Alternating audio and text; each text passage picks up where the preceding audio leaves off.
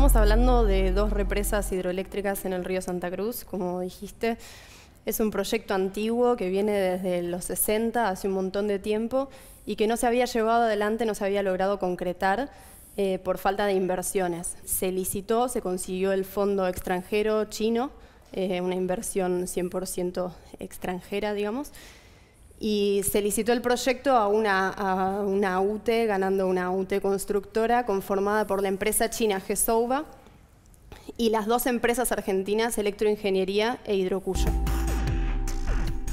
El viejo estudio de impacto ambiental lo había hecho una consultora a instancias de la provincia de Santa Cruz. Ese estudio se revisó, lo, lo hizo una eh, bastante emblemático el tema, porque el Ministerio de, Energía de la Nación eh, lideró todo este proceso y puso en cabeza de una empresa del Estado Nacional, la empresa de Visa, la, decisión de hacer el estudio de impacto ambiental. Ahora bien, la empresa de Visa es presidida por el subsecretario de Energía Eléctrica. El subsecretario de Energía Eléctrica es un funcionario que atiende los dos lados del mostrador y diría los tres. ¿Por qué?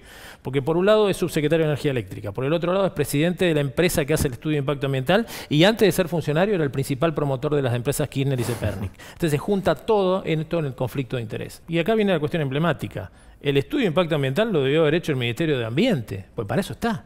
No, lo hizo el Ministerio de Energía y el Ministerio de Ambiente acompañó y refrendó. Por un lado está esto que decía Andrés del glaciar Perito Moreno. La verdad, un impacto en un patrimonio de la humanidad declarado por la UNESCO es eh, no solamente impacto social en relación al turismo y a los empleados del turismo, sino también eh, es, histórico, es un patrimonio de la humanidad, digamos.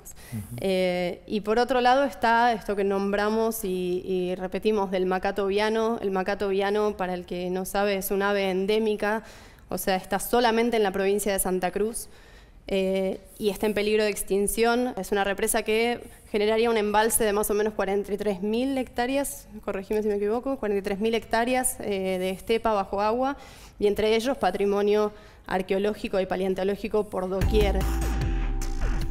China firmó un acuerdo de, digamos, de inversión con Argentina hace ya unos años, este, en el cual eh, estableció una serie de obras a realizar. El Belgrano Cargas, por ejemplo, eh, la realización de las represas del río Santa Cruz, la provisión de fondos para el Banco Central, cuando el Banco Central tenía una, suerte de, digamos, de, crisis en cuanto a lo que eran los fondos del Banco Central y las reservas, y en ese sentido estableció que estas represas están asociadas con el Belgrano Cargas. Entonces, si estas represas no se construyen, en el mismo, en el mismo momento cae el, el proyecto del Belgrano Cargas. Entonces, establecen sanciones cruzadas.